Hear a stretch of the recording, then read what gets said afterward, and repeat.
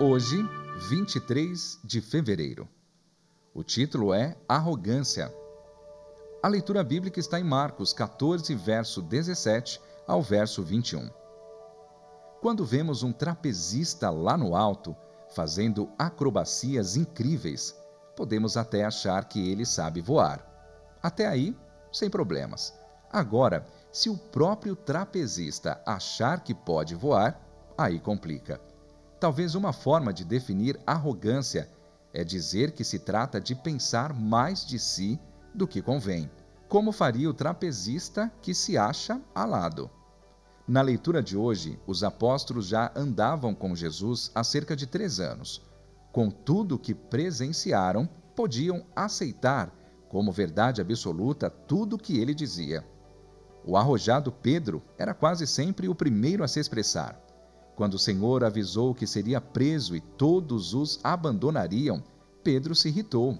Eu? Nunca. Jesus calmamente replicou: Ainda hoje você me negará três vezes. Pedro se ofendeu e subiu o tom, levando os outros à mesma negação. Bem, a Bíblia também conta o quanto Pedro se arrependeu. Se apontar o dedo para Pedro, os demais apóstolos ou quem quer que seja Preciso confessar que quando acho que sou mais forte do que de fato sou, também ajo com arrogância. A queda de Pedro não foi por covardia. Há várias narrativas que mostram como era corajoso. O que aconteceu então? Dizem que se o diabo aparecesse de chifre e tridente na mão, não enganaria ninguém. Assim, tentação não vem identificada, mas sempre bem disfarçada. Pedro, com a mente desprevenida, não soube enxergar o perigo e só se deu conta quando era tarde demais. E não é assim também com você e comigo? Não por acaso, Pedro, em sua primeira carta, nos adverte, com verso em destaque: Sabia por experiência própria que o pior fraco é aquele que se acha forte.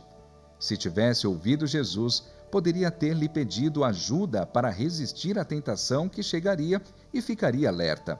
Mas foi arrogante, confiou em suas próprias forças e colheu um grande fracasso.